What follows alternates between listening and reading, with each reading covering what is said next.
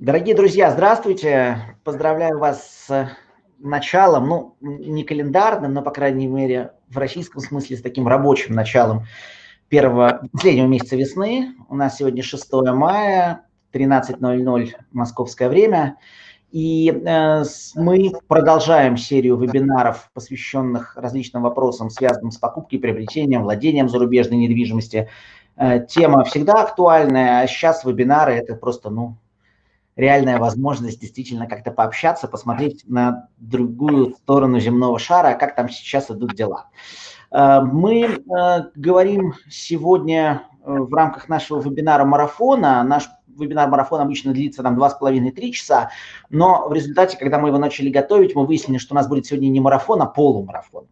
Полумарафон э, у нас будут сегодня три эксперта, на самом деле. Сначала мы будем разговаривать с Мариной Костиной, с нашим экспертом из Испании, потом с Лилией Алтоп, с нашим экспертом из Турции, и затем с Екатериной Морозовой, нашим экспертом из государства Филиппины.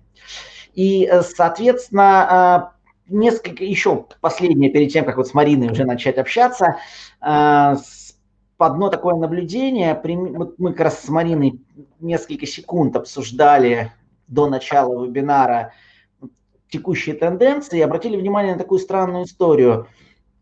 Э, была, был какой-то интерес к тому, что происходит именно в других странах. Не с недвижимостью, а как живут в других странах. Примерно там, недели 3-4 назад. Потом этот интерес пошел на спад, и как раз именно тематика недвижимости вышла на первый план. А сейчас опять э, очень интересно, а что же происходит в моменте в тех странах, недвижимостью которых интересуемся мы все. Ну вот, Марина, здравствуйте, во-первых, давайте связь проверим. Да, здравствуйте. Спасибо за приглашение, во-первых. И очень рада поучаствовать в нашем мини-марафоне. Итак, Марина Костина, соучредитель компании Damlex Realty из Испании. Э, ну, вы находитесь на побережье Коста-Браво, если я понимаю. В данный момент, да. И если я правильно понимаю, вы находитесь э, в офисе у себя. Да. То есть у вас уже просто можно приезжать в офис, и, в общем, э, вот все вот эти, вся эта информация о том, что жизнь начала налаживаться, и как она действительно правдива. Или это не совсем так? Это действительно так. Мы можем уже с 4 числа приезжать в офис. А, мы можем проводить даже встречи, но только по предварительной записи. И, соответственно, с выполнением всех мер предосторожности. Это маски, либо это а, ну, дистанция полтора-два метра. Вот. Многие начали. Мы начнем нашу работу с 11 числа, когда мы будем более свободны в своих перемещениях, потому что, не знаю, слышали вы или нет, но с 11 числа у нас уже можно собираться компаниями до 10 человек в офисе дома, либо на террасах. Вот, поэтому мы решили вот начать с 11 числа. Но некоторые наши коллеги испанские, они уже приступили к работе с 4 числа. Правда, а, пока еще непонятно, чем им заниматься. Ну, а вот скажите, э, если, предположим, сейчас там, проходя по улице, человек будет проходить мимо вашего офиса и захочет к вам зайти, вы не можете его пока впустить? Нет, ну, естественно, я думаю, что так или иначе все будут это нарушать, да, но э, пока что можно только по предварительной записи. Угу. И как э, первая реакция э, людей, то есть они начали записываться или пока все еще в таком шоке, пока давайте морем насладимся? Нет, все еще в шоке, конечно же, все еще в шоке. Все... Ну, во-первых, сейчас, если мы говорим именно про Испанию, то, что происходит внутри, э, все сейчас занимаются своими личными делами, в частности, и делами, связанными со своим личным бизнесом или с работой. Те, кто потеряли работу или временно уволенные, они возвращаются, да, или кто-то начал искать, кто-то возвращается на свои старые рабочие места. То есть эту неделю вот люди заняты этим.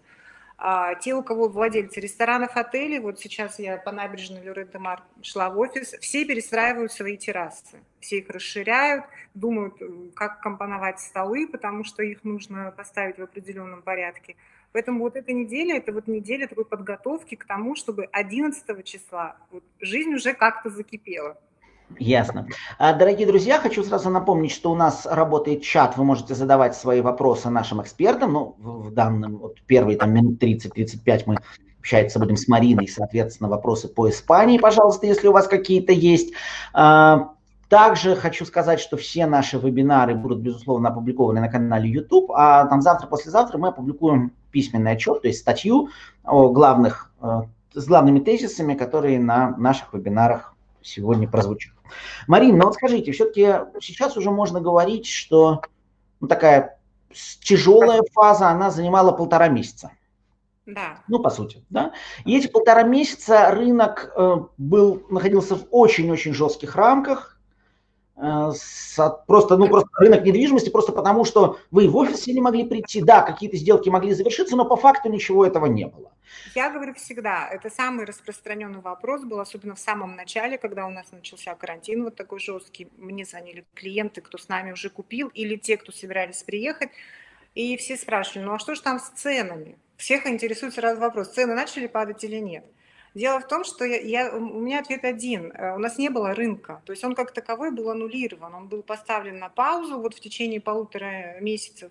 И ничего не происходило по факту. Да, кто-то заканчивал какие-то свои сделки, например, с местными покупателями. Э, можно было завершить сделку. Э, нотариусы открывались для этого, да, нотариальные конторы.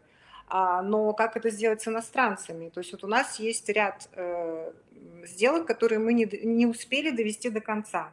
И мы все ждем, ну когда же откроют границы, и когда же наши покупатели смогут приехать и наконец-то подписать купчу и получить ключи от своих объектов. Если мы говорим, кстати, о датах, вот есть, собственно, дата, когда э, ну, вот пришли первые там приятные новости из Чехии, что Чехия вроде там открыли границы, а, Потом пришли новости из Финляндии, что вот сегодня, что финны с 14 мая вроде вводят некие послабления. Проблема вся в том, что границы-то их всегда две, да, есть граница одной страны, есть граница другой. И, в общем, выехать можно откуда угодно, вопрос, куда въехать, наоборот. А, вот какие ну, ожидания, о чем говорят сейчас с точки зрения, может быть, сроков и с точки зрения правил, э, какие в Испании сейчас есть? Ну, смотрите, э, так как у нас уже принято правительством четыре фазы по выходу из карантина, и эти четыре фазы не предусматривают открытие границ. Вот.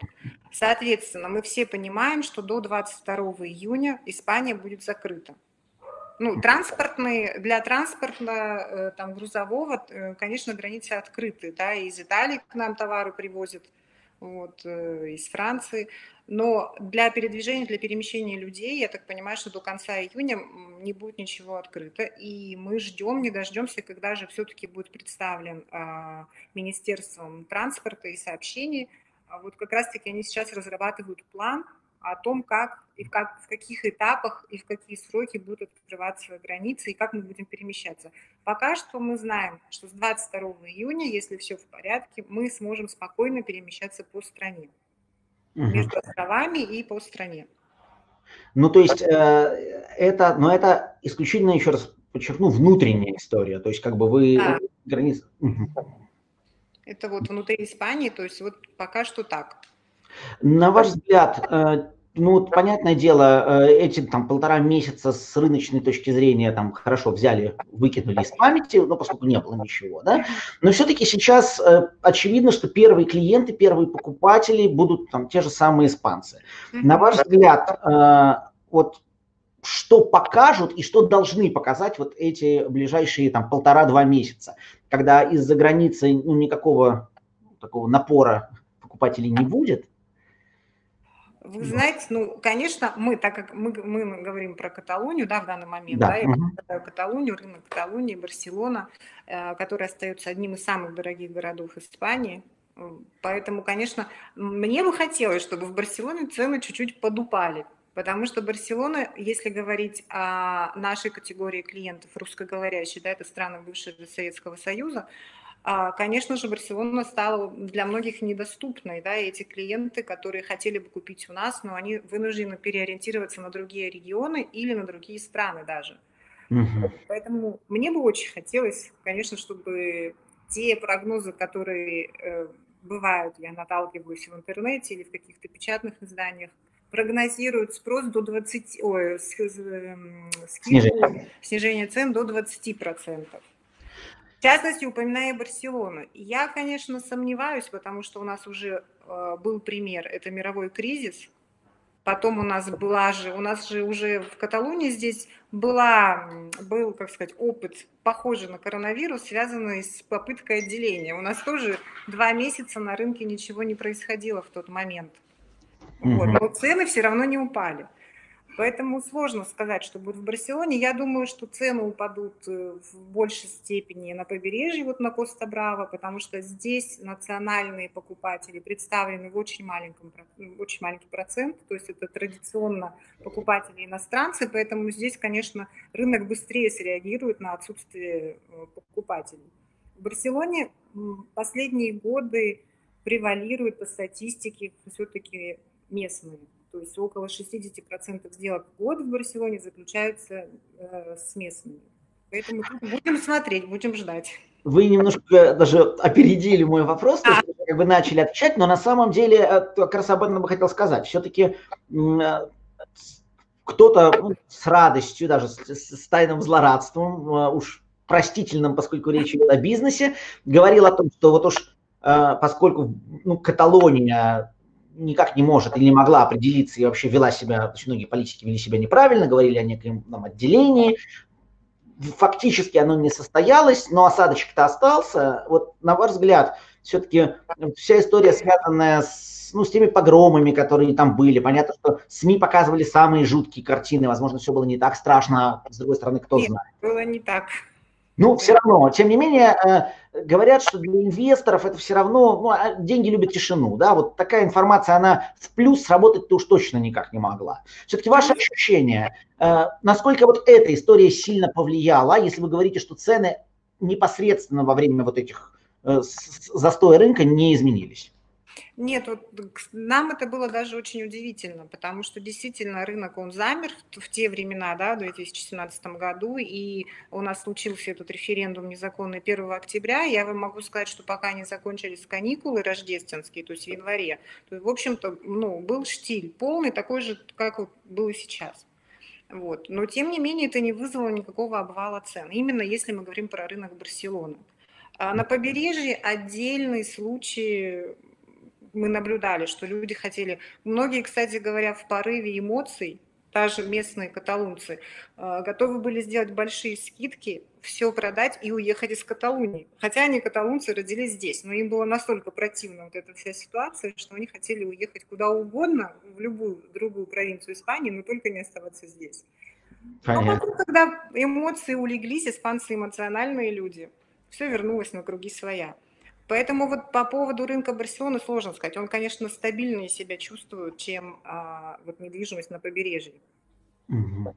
Скажите, э, ну, есть такое мнение, ну, вернее, давайте с другого вопроса начну. Раз уж мы заговорили о в э, том, что вот эти полтора-два месяца, по сути, ничего не происходило. Означает ли сказанное вами, что вот сейчас вы, по сути, пришли к тем же ценам, которые были, скажем, у вас в вашей компании в начале марта? Или это все-таки не совсем так? Вот перед нашим вебинаром я специально посмотрела статистические данные. Как же у нас поменялись цены, чтобы я не со своей колокольни говорила, да, а что же нам говорят официальные источники. И цифры очень интересные по, э, по Барселоне в частности. А цены по сравнению с мартом, они выросли Каким образом, мне это сложно представить. Они выросли на 1,1%. Ну, то есть в нулях. Да, это... Но по сравнению с э, маем 2019 года они упали на 2%. Угу. То есть, ну, потому что в 2019 цены росли, и к концу года в Барселоне стали немножко так, ну, падать в каких-то местах.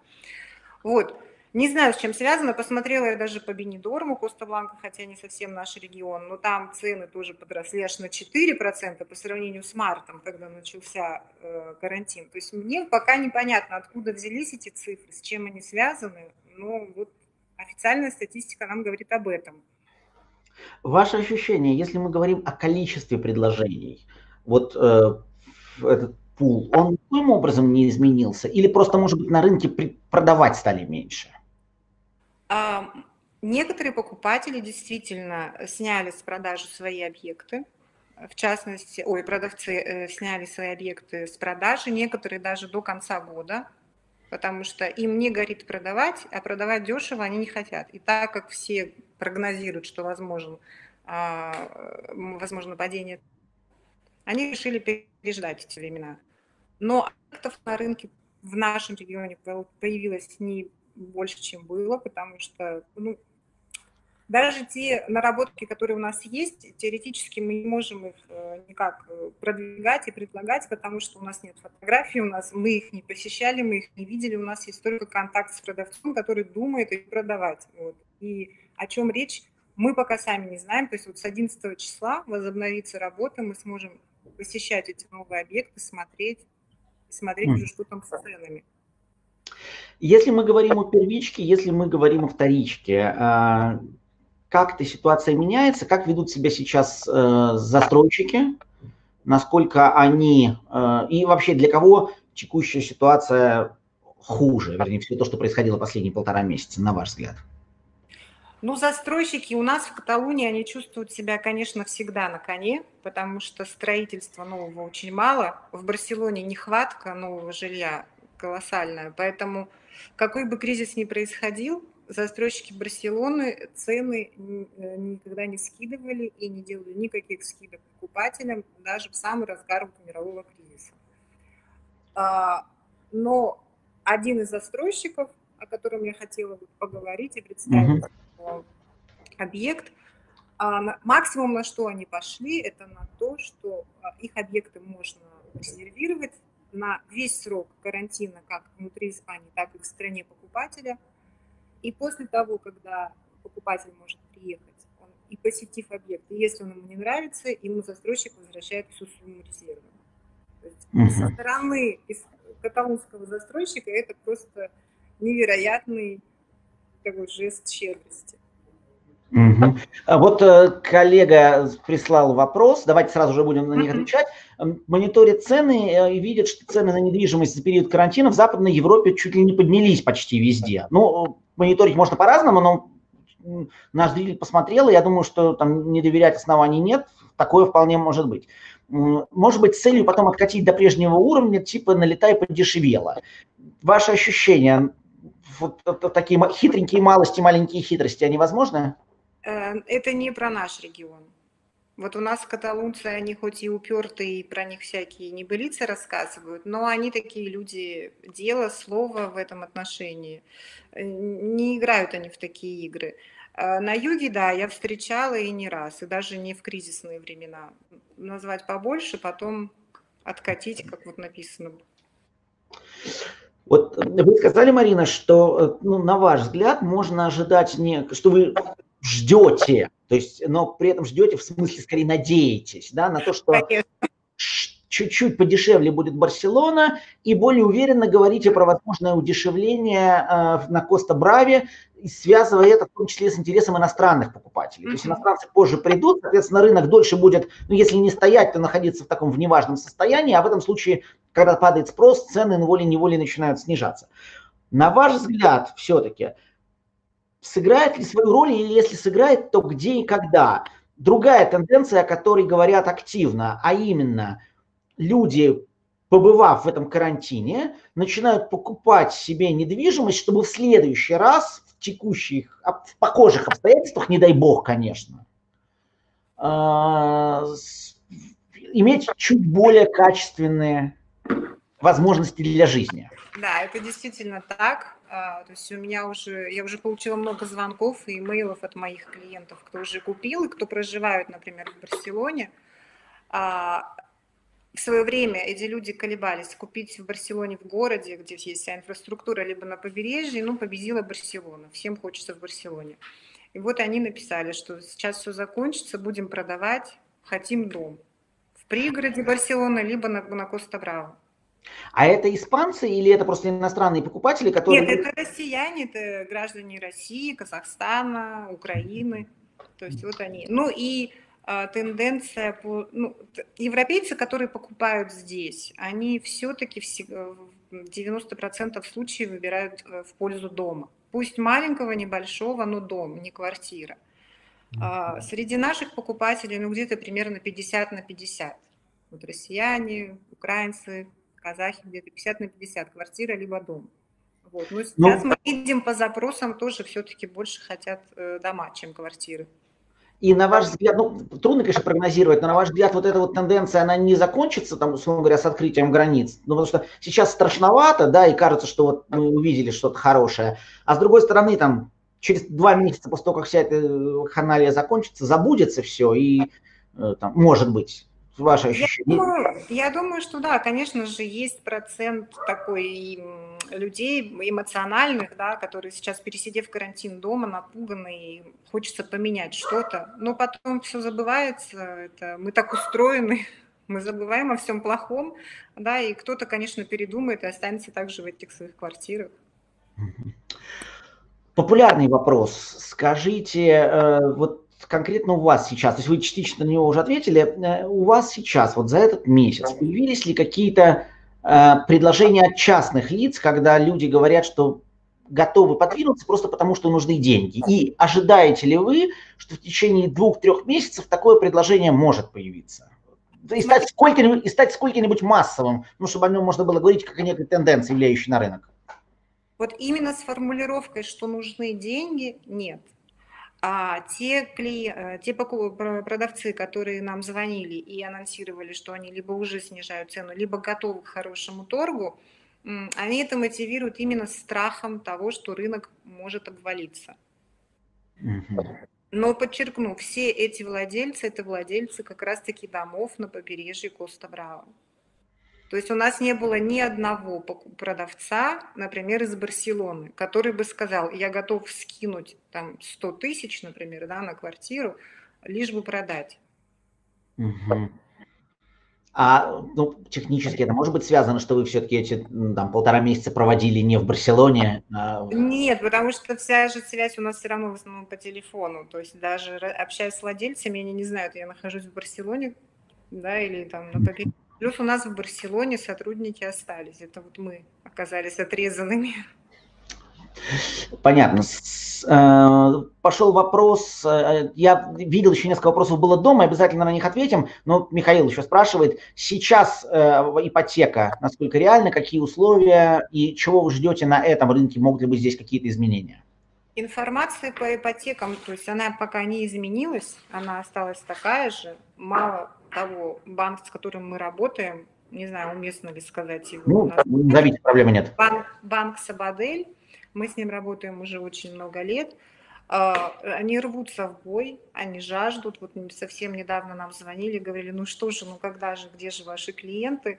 Вот, э, тоже истосковались по работе, по выдаче ипотек. А условия до 60% для нерезидентов – Опять же, я всегда делаю поправку, когда говорю такие цифры. Э, нужно смотреть, как работает тот же самый банк а, в разных провинциях э, Испании. И тот же банк Сабадель выдвигает совершенно другие требования по тем же документам по ипотеке к тем, кто покупает в Каталонии или тем, кто покупает в Марбее. В Каталонии вот на сегодняшний день для нерезидентов до 60% и годовой интерес это при около 2,5%. И на какой срок можно взять такой? До 30 лет. До 30. А, скажите, пожалуйста, а ну вот э, известно, что вообще общение с банком лучше начинать не в тот момент, когда ты уже купил все, там завтра у тебя э, сделка, да, завтра нотариат, и тут ты спохватился, бог мой, я ж еще и кредит хотел. Нужно делать заранее. Взаимоотношения с банком, особенно примерные прикидки, их же можно сделать удаленно. То есть вот можно ли каким-то образом получить, если не официальное согласие, то, по крайней мере, такое предварительное, с тем, чтобы потом было проще, и что для этого надо сделать сейчас? Да, конечно. Мы вообще начинаем, ну, наша компания, мы начинаем работу с клиентом уже, когда он определился и выбрал, мы уже, конечно же, сразу э, оговариваем, как он хочет купить и какие у него условия покупки, да, насколько он может выкупить сразу свои деньги или ему нужна ипотека. И если речь только заходит об ипотеке, мы в первую очередь, конечно же, смотрим, какие документы у клиента, дадут ли ему, одобрят ли ему ипотеку, чтобы не получилось так, что в конце концов, как вы сказали, он придет уже к сделке, а банк, например, ему эту ипотеку не одобрит. Вот, чтобы не было таких историй, мы это начинаем уже, можно сказать, в параллели. То есть вот у нас идет подбор объекта, и параллельно мы прорабатываем и ведем все консультации, необходимые по выдаче ипотеки. Вы сами это делаете или все-таки вы банк здесь тоже привлекаете? То есть банк уже банк... готов неофициально что-то рассмотреть? Нет, банк, конечно, конечно, мы все, все консультации у нас проходят с банком. Единственное, что я сразу могу сказать, банк не выдаст никакого официального подтверждения, что да, мы даем такому там Ивану Иванову, мы даем ипотеку, потому что ипотека выдается под объект в Испании. Но, конечно, основанием являются финансовые документы, подтверждающие платежеспособность покупателя. А, вопрос от Андрея. Есть мнение, что к осени появятся скидки именно на вторичном рынке. Причина проста. За период карантина и за лето люди будут терять работу, то есть доход. Цены неизбежно будут падать. Ну, называют там 10-15% в жилой, в коммерческой недвижимости, недвижимости, может быть, даже более. Ваши ощущения и отдельно тогда про рынок коммерческий, ваш взгляд. Ну, как я уже до этого, да, мы с этого начали разговаривать, то есть сложно что-то прогнозировать, потому что вот мы только запускаемся, да, мы только начинаем работу, начинаем ее с нулевой точки, с нулевой отметки. И первые вот ближайшие месяцы, они, конечно же, нам покажут, как будет вести себя рынок. Как я уже сказала, больших скидок можно ожидать на побережье, и в меньшей степени, я думаю, цены упадут в самой Барселоне. А видите ли вы, ну, понятно, что портрет вашего клиента, он, это вовсе не те люди, с которыми вы общались, или точнее не общались во время вот этой пандемии, но тем не менее, видите ли вы, ну, что потенциальные клиенты ваши э, теряют доход? То есть в той же самой Испании, например, ну, понятное дело, что э, так же хорошо, может быть, люди не будут жить, как они жили там, условно говоря, полтора-два месяца назад? Вот смотрите, мы как раз обсуждали на днях с нашими коллегами, и так как мы занимаемся еще продажей европейцам, и в частности франкоговорящим а, клиентам, Франция, Бельгия, Швейцария, а, то есть среди потенциальных клиентов, кто хотел бы приехать и купить, их не уменьшилось, то есть они также жаждут и желают купить, но есть часть клиентов, в том числе и французов тех же, а, которые решили поставить это немножко на паузу, например, до осени кто-то, кто-то до начала следующего года. И тут две причины. Первая причина – все также думают, что упадут цены. А вторая причина э, – люди обеспокоены тем, что же будет происходить с их бизнесом. То есть они хотят выдержать какую-то паузу, посмотреть, будет ли у них какой-то отток приходов, да, или же они будут чувствовать себя нормально. Дорогие друзья, как я говорил, у нас сегодня не марафон, а полумарафон, да, то есть мы у нас сегодня мы общаемся с э, тремя экспертами. Мы после этого будем говорить с, э, о Турции, будем говорить о Филиппинах. Дорогие друзья, э, вследствие этого мы чуть-чуть больше времени уделим каждой стране, и поэтому сразу хочу предупредить, не удивляйтесь, мы обязательно будем говорить о Турции и Филиппинах, но тем более, что вопросов много, и мы как раз с Мариной поэтому немножко выйдем за пределы отведенного нам регламента. А, вопрос от Владимира, сколько на побережье стоит скромная однушка, хотя бы примерно? Ну, как бы вы определили, давайте сразу еще раз говорить, Барселона и Коста-Браво, мы говорим об этих регионах, а, что сейчас, на какие цифры можно ориентироваться?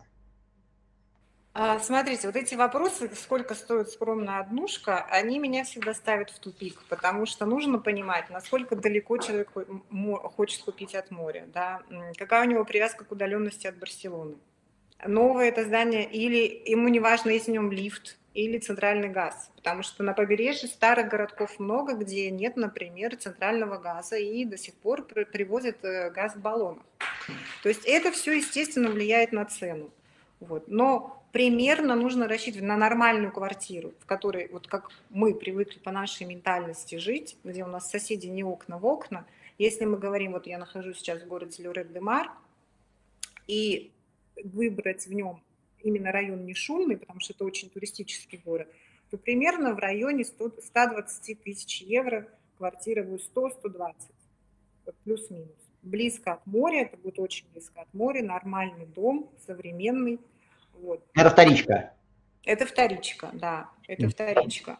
Если говорить о том, что мне без разницы где, но я хочу у моря, такие тоже бывают случаи, а, можно искать где угодно. Есть и предложения за 60, и за 80 тысяч, но это старые дома, не всегда рядом с морем, и, например, они будут находиться по соседству там, с тремя-четырьмя шумными дискотеками. Летом не самое лучшее соседство. Ну, может быть, разве что летом 2020-го чуть попроще, все-таки боюсь. Да, сейчас у нас здесь тишина кругом. Ясно. Э, вопрос он частный, безусловно, но я думаю, что э, если что, можно будет напрямую потом Марии написать, но если сможете прямо сейчас ответить, вот э, с резиденцией Ларго Дурасьон сколько месяцев в течение пяти лет может отсутствовать на территории Королевства Испании обладатель? Это вторая пятилетняя резиденция выдана в Каталонии.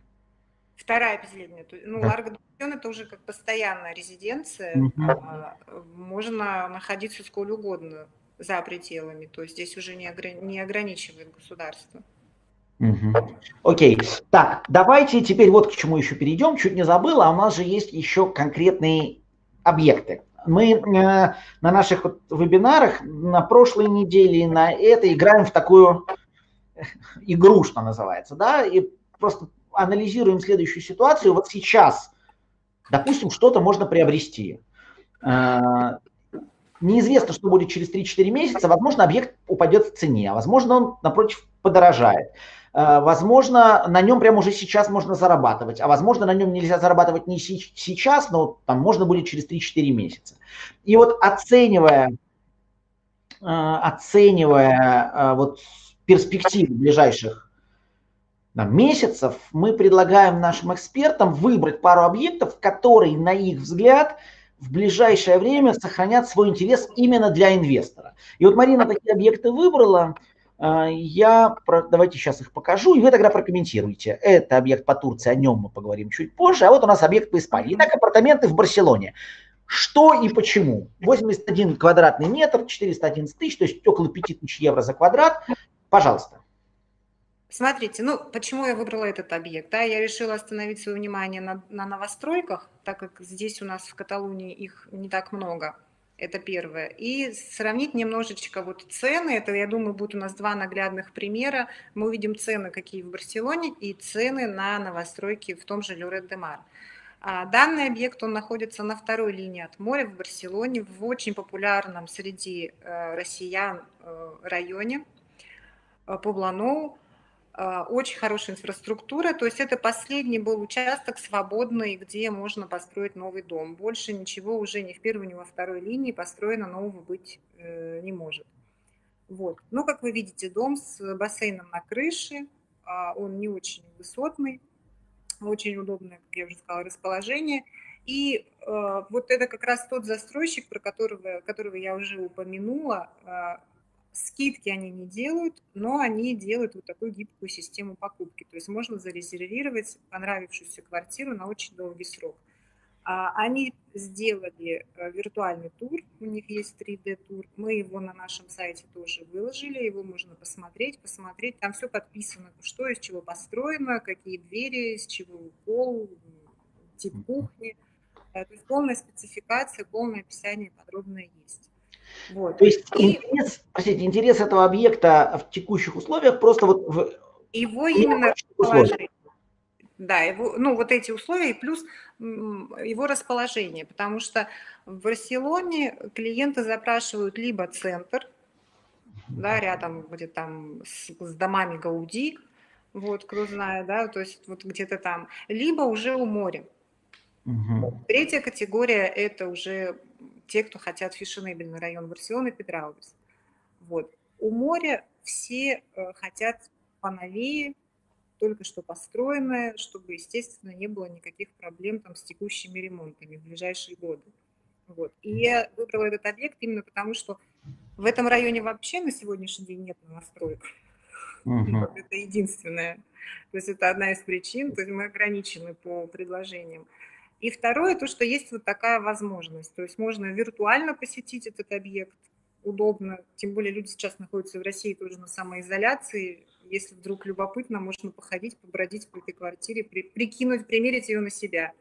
Вот. И плюс вот есть это условие, что можно зарезервировать на... То есть еще крочек. Я резервирую, а потом приезжаю, говорю, нет, не понравилось, и мне отдают эту сумму. Возвращают, да. Да, застройщик вам возвращает. То есть так как здесь резервы в Испании по закону покупатель имеет право не возвращать, то есть если отказался, э, вернее, продавец имеет право не возвращать, если покупатель отказался, то в данном случае, то есть это уже некий бонус, что застройщик вам возвращает эту сумму. Окей. Так, ну и давайте посмотрим второй вариант, о котором мы с вами говорили. Вот он. А, ну вот здесь вот уже цена, но тоже, конечно, не 120, но тем не менее. Да, но это, ну, это первая линия моря. Угу. 195 тысяч евро стоит как раз-таки однокомнатная квартира. Угу. Вот. Ну, по-испански это будут две комнаты, да, гостиная и спальня. Вот. А, опять же, я ее взяла в сравнении чтобы были, была видна динамика цен, да, то есть как меняются цены. В Барселоне у нас там квартира, конечно, побольше, но и цена в два раза выше. Здесь у нас цены 195 тысяч, это самая дешевая квартира. Э, и, видите, первая линия моря, новостройка. А в доме будет подземный паркинг, что здесь э, на побережье в первой линии очень редкое явление, потому что раньше не было таких технологий, чтобы у моря построить с подземным паркингом. Простите, а так это построен дом или еще нет? А, а, уже возведена конструкция, и они уже закрывали вот весь дом, приступали к отделке, но, к сожалению, тоже вот перенесется срок сдачи из-за того, что не могли продолжать строительные работы во время вот карантина. А сейчас? Сейчас уже работают. Вот разрешили середины апреля, вот они вернулись к работе. Работают, но в, в усеченном составе, потому что нельзя выводить всех на работу именно по причине того, что нужно соблюдать вот эту вот дистанцию. И все жалуются, что невозможно работать, как строителям, например, работать, не соприкасаясь друг с другом. Да, то есть все равно у них более тесный контакт. Угу. Так, ну и давайте все-таки еще, Марин, поступило у нас несколько вопросов, ответим. А, я вот пару вопросов Михаила, а потом задам вопрос еще в самом начале, парочку прозвучало. А, расскажите о налогах на недвижимость, явных и скрытых. А, вот если сделать хороший ремонт в квартире, говорят, могут увеличить сумму налогов или добрать их даже за предыдущие периоды, потому что квартира была оценена неправильно. Нет, э, ремонт вы можете делать какой угодно. Вы можете купить квартиру за, не знаю, 500 тысяч, а сделать там ремонт на миллион. Это не значит, что она будет стоить полтора миллиона. Она стоит полтора миллиона для вас, но не на рынке. Поэтому никаких дополнительных налогов, конечно же, не будет.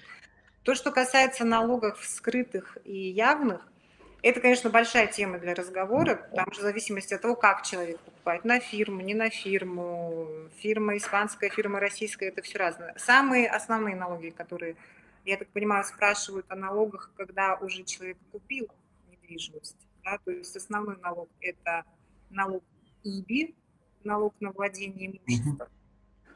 Он в разных провинциях разный, он рассчитывается от кадастровой суммы, а не от рыночной.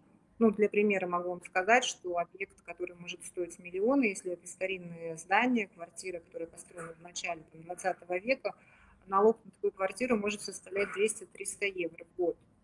То есть чем новее объект, тем выше этот налог. Но он в пределах всегда разумного. А касательно, не знаю, налоги на, на есть налог, например, на обмененный доход. Если это не резидент, а, он рассчитывается также от кадастровой стоимости, у него есть ставка своя, там умножается на 1,1%, и от, и от этого берется 24%. Это декларация, которая заполняется ежегодно, должна заполняться нерезидентами Испании. Угу. Я могу рассказать о налогах с покупки. Ну, давайте, э, я думаю, что это все-таки несколько раз отдельная тема. Это очень глубокая тема, конечно. Да, я думаю, что мы как-нибудь, э, раз уж такое, такая тема зашла, я думаю, что мы в ближайшее время коснемся этой темы. С Мариной будем рады тоже пригласить вас на вебинар этому посвященный. А сколько стоят услуги, буквально в двух словах, сколько стоят услуги фирм по обслуживанию инвестиционной недвижимости, если хозяева недвижимости в России вот сейчас? Ну, то есть, окей, я э, купил, хочу сдавать, э, нахожусь сейчас в России, uh не имею возможности приехать в Испанию по объективным причинам, хочу, чтобы кто-то мне в этом вопросе помог. На что я должен рассчитывать? Ну, смотрите, если касается коммерческой недвижимости или жилой недвижимости. Жилой, которая... я говорю, я квартиру купил, да. хочу ее сдавать. Вы хотите ее сдавать. Здесь не важно, живете вы, не живете, любая компания, которая сдает э, вашу, ваш объект, ну, допустим, я, да, ага. вы хотите сдать. А, вознаграждение за сдачу этого объекта в аренду а, выплачивает арендатор. Это ставка стандартная, один месяц стоимости аренды. То есть если мы сдаем квартиру за 1000 евро в месяц, соответственно, арендатор нам, как агентству, выплачивает эту тысячу. Угу. То есть платит в данном случае не, не владелец. А если краткосрочная история? С, краткос... с краткосрочной историей здесь вообще тема, видите, сейчас такая сложная. Ну да, но, а, ну смотрите, но, нет, мысль такая. Мы всегда а, рекомендуем нашим клиентам а, прибегать уже к услугам специализированных фирм, которые занимаются только туристической арендой. Потому что тураренда, она подразумевает постоянный контроль за жильем, кто въехал, выехал, депозит принял, сдал. А, то есть это очень такая действительно серьезная работа. Если у них всегда, у этих фирм есть в штате сотрудники, которые могут провести мелкий ремонт, если вдруг туристы что-то сломали перед приездом и заездом новых жильцов. Вот, поэтому, а, если я не ошибаюсь, так как мы тур арендой не занимаемся, если я не ошибаюсь, то они берут в размере от 15 до 20%, э, вот я встречала в Сидже, до 25% э, свое вознаграждение от суммы, которую вот получает собственник. Окей, еще пара коротких вопросов. Вначале они прозвучали. Вот говорили, ходил слух, что из Беларуси, из Минска в Барселону можно будет лететь чуть ли не 15-20 мая. Такой информации у вас нет? Нет, я могу вам сказать, что есть таблица, а, которая правительством была опубликована, выпущена, и, в то, и там пункт авиаперелеты или перемещение по зоне Шенгену, там просто прочерк, ну, белое, все белое, ничего не написано. То есть это до 22 июня это точно не будет ничего. Окей. Ну и пока Марина отвечать будет, наверное, уже на последний вопрос. А, единственная, да, единственная ремарка. То есть если речь о резидентах Испании, которым до недавнего времени нельзя было возвращаться в страну, то они уже начали возвращаться. На прошлой неделе у нас клиенты, те, кто застряли в России, смогли прилететь. Было два самолета из Москвы, вот они прилетели, вернулись.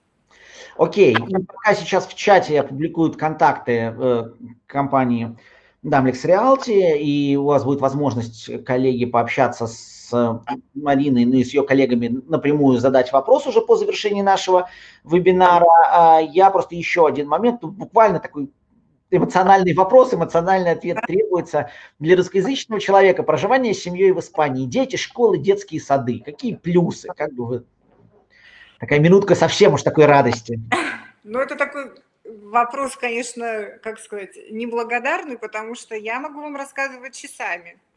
Мне здесь нравится все, потому что живу здесь уже 20 лет. Вот. Но по поводу адаптации могу сказать на своем личном примере. Она у нас прошла просто без э, сучка и задоринки. То есть у нас не было никаких проблем ни с испанцами, даже когда мы не говорили на испанском языке, ни у нашего сына в школе. То есть не было никакого там гонения на то, что он из России. Это самый распространенный вопрос, как э, испанцы относятся к русским. Они ко всем относятся очень ровно, то есть главное, чтобы человек был хороший. Это да, это точно.